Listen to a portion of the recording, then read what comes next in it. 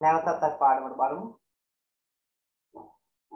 දැන් මම කතා කර කර හිටියේ මේ මෙතන අර අපි ඒක නැවත බලමු.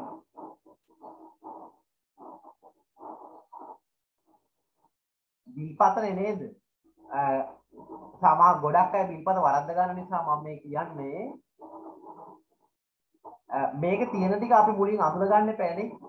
දැන් මෙතන ලේසිම මෙන්න මේක හදන්න චුට්ටක් අමාරුයි පරිප්පු කතාව. ලේසි වෙන දැන් මේ සීනි කිලෝ එකක මිල 98යිනේ. එකක මිල 98යි දෙකක් ගන්න. එහෙනම් 98 දෙකෙන් ගුණ කරාම හරිනේ නේද? 98 දෙකෙන් ගුණ කරලා මෙතෙන්ට උත්තරේ දාන්න පුළුවන්. හරිම ලේසියෙන් නේ? 98 ඒව දෙකක්. නේද? 8යි 8යි 16න් 6 එකක් ඉතිරි. 9යි 9යි 18යි එකයි. ඔව් 19යි කියලා අපිට උත්තරේ. මේ 100 ඔව් 196 නේ? හරි නේද? නමය නමයයි දහට එක දහන හරි නේද? ඉලාට ඒක ලේසි හරිම. මෙතන මෙන්න මේ පොල්තෙල් එකත් ලේසිනේ එයා භාගයයිනේ ගන්නේ.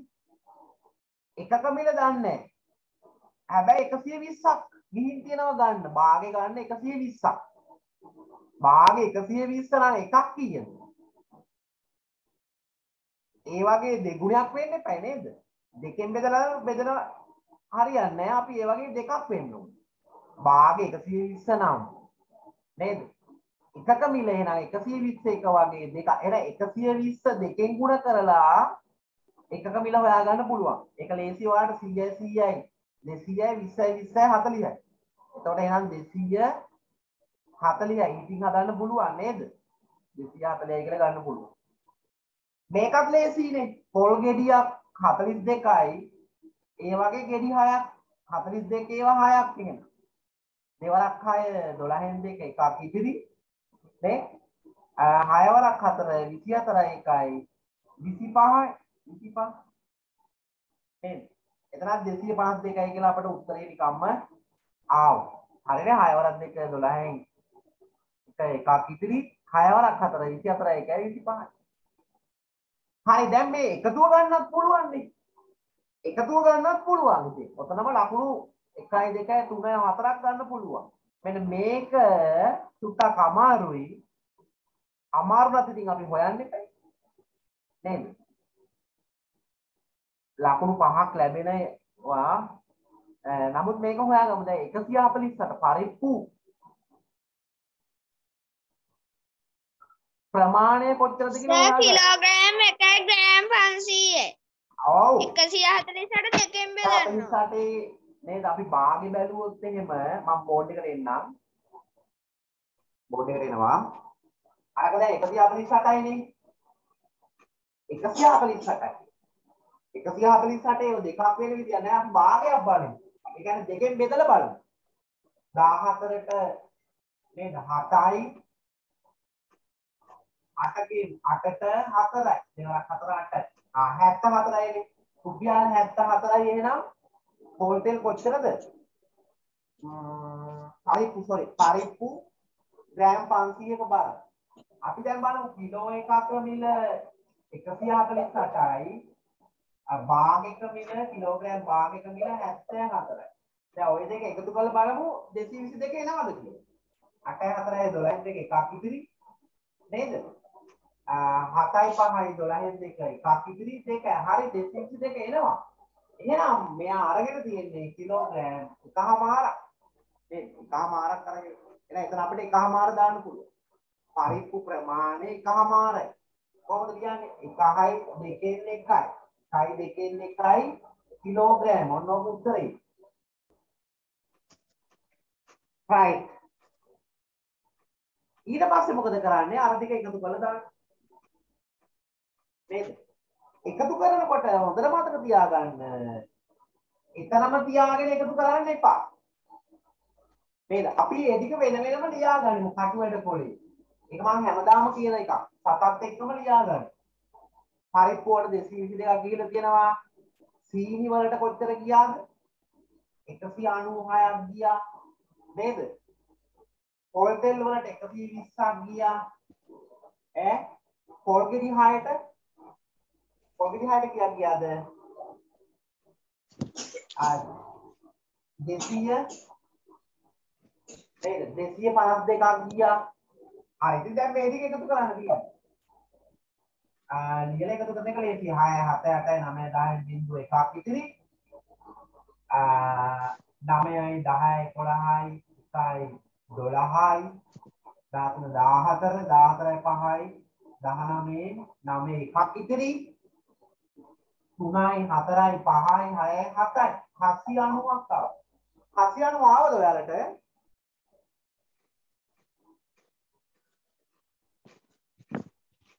ඔව් සර් ඕස කාටද ආවේ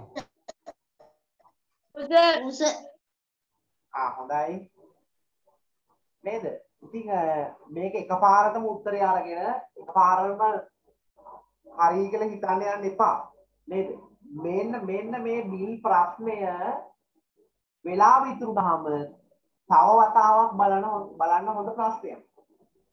තව වතාවක් නෙවෙයි දෙතුන් වතාවක් බලන්න හොඳ ප්‍රශ්නයක් තමයි මේ බිල් ප්‍රශ්න එකපාරටම උත්තරේ අරගෙන ආ ඒ ප්‍රශ්නෙට ලකුණු කීයද ඔව් මේ එකතුව වරදින්න පුළුවන්. තේරුණාද? එකතුව වරදින්න පුළුවන්. අඩුම තරමේ පුතේ ඔයාලා තුන් වතාවක්වත් බලන්න ඕනේ මේ ප්‍රශ්නේ අර වෙලාව ඉතුරුනොත්. නේද? අනිත් ඒවා කරලා වෙලාව ඉතුරුනොත් මේ ගණිතයේ බිල් ප්‍රශ්නේ තව දෙතුන් වතාවක් බලන්න. මොකද එකතු කිරීමේ දෝෂ තියෙන පුළුවන් සමහර විට නේද? එකතු කිරීමේ දෝෂ, ගුණ කිරීමේ දෝෂ මොකද වැඩ ගොඩක් කරන්න තියෙනවානේ එතන. එතන වැඩ ගොඩයි. පැහැදිලිද? එහෙනම් හරියටම ලකුණු පහම ගන්න නම් ඔයාලා ඒ වැඩ කරන්න. එතන ලොකු ලකුණු ගන්නකුත් ලැබෙනවනේ. හරි. අපි බලමු ආ තව ප්‍රශ්නයක් තියෙනවා. තව ලකුණු දෙකේ ප්‍රශ්නයක් තියෙනවා. ඉතිරි මුදල 1000ක් සර් ඒකට එතකොට ලකුණු හතක් හම්බෙනම ඒකනේ ලකුණු හතක් හම්බ වෙනවා. එහෙනම් එහෙනම් 16න් අඩු කරනවා 790 790 දෙසියට සත ගණනක් නැහැ ඒක නිසා බය වෙන දෙයක් නෑ සත ගණන් ඕනේ හය. ඔව්. බිංදුව බිංදුව බිංදුවයි 19ක් එකයි. අ, නවයෙන් හතක් දෙකයි. රුපියල් 200 10යි ඔන්න ඉතුරු මුදල තව ලකුණු දෙකක් එතෙට ලැබෙයි දැක්කද? ලොකු ලකුණු ප්‍රමාණයක් ලැබෙන එක හරි ඊළඟ 58 පහත සටහනේ හිස්තැන් පුරවන අගේ කිලෝමීටර වලින් දාලා තියෙන්නේ. ආ සටහන කියන්නේ අර හිස් කොටුව පුරවන්න තියෙන්නේ. කොළඹ ගාල්ල මාතර නේද? 115 45 එකතු කරාම මේ මැද සංඛ්‍යාව ලැබෙනවා. 115 45 කිලෝමීටර් 160 ඔව් 100 160යි නේද? ඒ දෙක කරාම 160යි එන්නේ 59 2020 අගෝස්තු 23 වන දින මානෙල්ගේ වයස අවුරුදු 10යි මාස 3යි දින 18යි.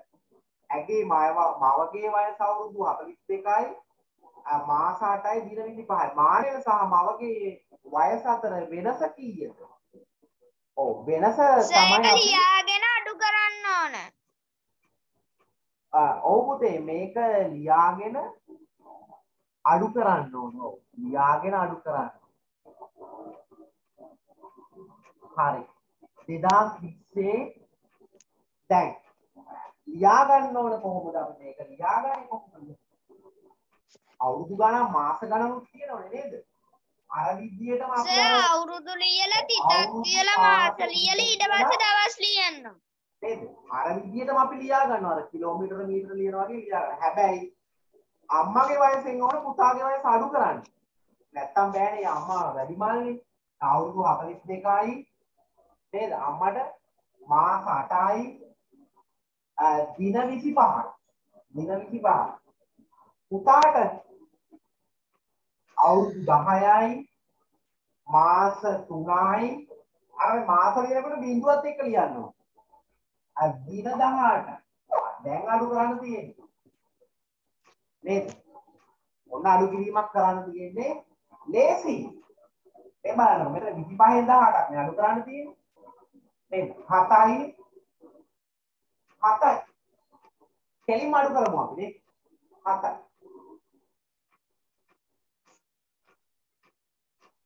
ඔව් එතෙන්දී දැන් මේ මාසවලට එන්නේ නැතුව නේද? කෙලින්ම අඩු කරගන්න පුළුවන් නම් හොඳයි. ඒක සම්පූර්ණයෙන්ම අඩු කරලා ඉවර කරන්නේ දින ගන්න. මාසවලට එන්නේ බැරි මොනොත් විතරයි දැන්. ඉතින් 5න් 18ක් අඩු කරගන්න පුළුවන් නේද? හත. ඊළඟට ආ මාසවලින් බලමු අපි 8න් 3ක් 5යි. නේද? 8න් 3ක් 5යි. මෙතන 41කින් 10ක්.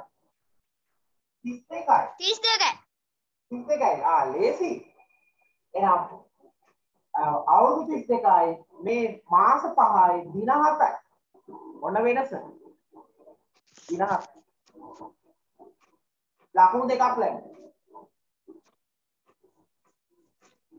සර් 58 ලකුණු දෙකයිනේ. ඔව් මොකද පුතේ? වහින නිසා මට ඇහෙන්නේ. 58 58යි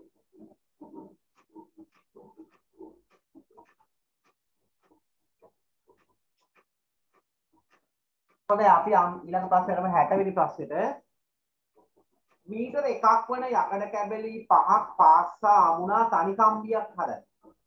මීටර එකක් වන යකඩ කැබලි පහක් පාස්සන. ඒ කියන්නේ මීටර පහක්නේ පාස්සන්නේ. මෙහිදී පාස්සන විට සෑම පෑස්සීමකටම එක කම්බියක එක පැත්තකින් සෙන්ටිමීටර පහ බැගින් උණුවී අඩු වේ. ආ ඊට පස්සේ ඔව් පහ බැගින් අඩු වෙනවා. කම්බි පහක්නේ පාස්සන්නේ. කම්බි පහක් පාස්සනකොට අ බලමු පෑස්සුම් ස්ථාන කීයක් එනවද කියලා. 1යි 2යි 3යි 4යි 5යි. ඔන්න කම්බි පහ. කම්බි පහ වුණාට පුතේ මෙන්න මෙතන පෑස් වෙනවා. මෙතනත් පෑස් වෙනවා. මෙතනත් පෑස් වෙනවා. මෙතනත් පෑස් වෙනවා. නේද? මම මේ ඊතර දාලා තියෙන තැන් ඒ තැන් වලින් පෑස් වෙනවා. පෑස් වෙනකොට හැමතැනදීම අඩු වෙනවා කොච්චරද? සෙන්ටිමීටර 5ක් අඩු වෙනවා. සෙන්ටිමීටර 5. මෙතන සෙන්ටිමීටර 5ක් අඩු වෙනවා. මෙතන සෙන්ටිමීටර 5ක් අඩු වෙනවා. මේ හැමතැනදීම සෙන්ටිමීටර 5ක් අඩු වෙනවා. පහේව කීයක් අඩු වෙනවද? හතරක්. ඒ කියන්නේ සෙන්ටිමීටර 20ක් අඩු වෙලා යනවා. සෙන්ටිමීටර 20ක් අඩු වෙලා යනවා. නේද? එහෙනම් දැන් පහයි පහයි පහයි පහයි පහයි පසර පහ ඔව් මීටර පහක්නේ මීටර පහක් කියන්නේ මීටර පහක් කියන්නේ සෙන්ටිමීටර කීයක්ද? 500ක් සෙන්ටිමීටර 500ක්නේ සෙන්ටිමීටර 500ෙන් 20ක් අඩු වෙනවා. ආ 20ක් අඩු කරන්නේ. සර් මීටර එකයිනේ තියෙන්නේ. මීටර එක එකක් වන යකඩ කැබලි කම්බි කැබලි පහක් පාස්සා එකක් වන යකඩ කම්බි කැබලි පහක්. මේ එකේව පහක් එකේව පහක් නේද? ඒ කියන්නේ 500ක් 100යි 200යි 300යි 400ක් 500ෙන් තමයි 20ක් අඩු කරන්නේ.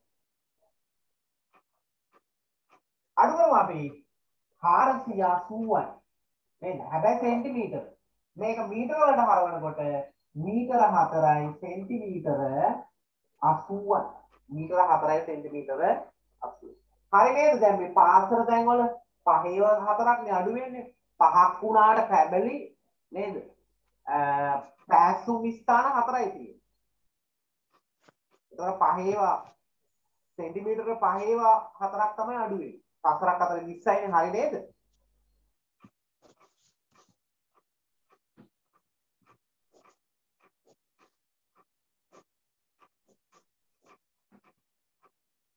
ආ චුට්ටක් ඉන්න චුට්ටක් ඉන්න චුට්ටක් මෙතන මෙන්න මෙහෙම කතාවක් තියෙනවා. මම ඔයාලට පෙන්නන්නම්.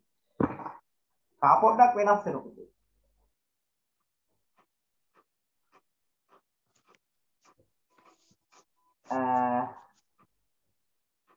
මේ බලන්න.